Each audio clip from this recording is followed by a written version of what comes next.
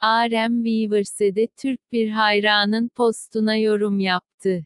Türk hayran postunda bir cilt sansürü unutmuş yazarak Seoji'nin fotoğrafını paylaşmış. Arem de bu posta, oh gerçekten mi yazarak yorum yaptı. Türk hayran bu posttan sonra bir gönderi daha attı. İşte gönderi. Post şu an trendlerde bir numara. Bu cidden çok iyi bir şey. Türk armilerin fark edilmesine çok mutlu oldum. Umarım daha fazlası da olur. Videoyu izlediğiniz için teşekkür ederim. Hoşçakalın.